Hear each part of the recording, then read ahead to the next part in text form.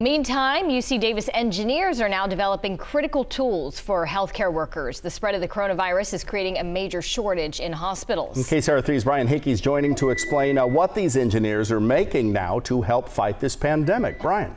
Yeah, and this story fascinated me right from the word go because they're using 3D printing, which is what I'm doing right here in my home office right now, printing little uh, holders for my cell phone. And this is a 3D printer, and this could be the answer to a critical supply need for different things, different parts for ventilators, uh, masks for uh, doctors and healthcare workers to use. This is why they're doing it at UC Davis. They're using advanced manufacturing techniques, again, 3D. These are the latest iteration. Other devices that they're using to basically design and make parts.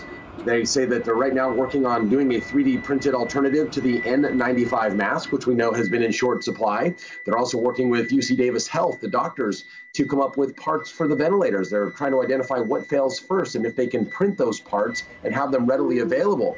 The other thing they're doing is looking at some of the supplies that are already in the hospital and readily available and seeing how they can repurpose those by making parts or adapters for them these are the latest iteration of um, a, a, coupler that is designed to um, interface some commercially available objects um, with these really um, these filters that are available um, within the hospital setting.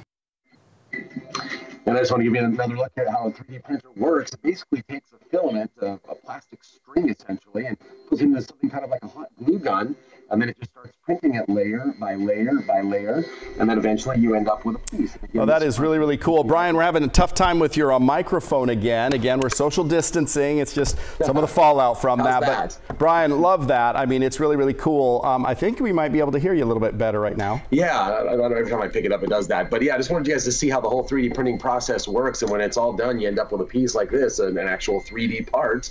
And um, again, they're using this. And what's really cool is what whatever they design at UC Davis, if they come up with a functional part, they can then basically email that file to anybody around the world, and anyone with a printer can then replicate that part. And they're also part of a consortium around the world of other people that are doing just the same thing, answering the challenges that COVID 19 has presented. Boy, it's crazy. We are creating tomorrow today, kind of. That's awesome. Thank you, Brian. Yeah. Love that.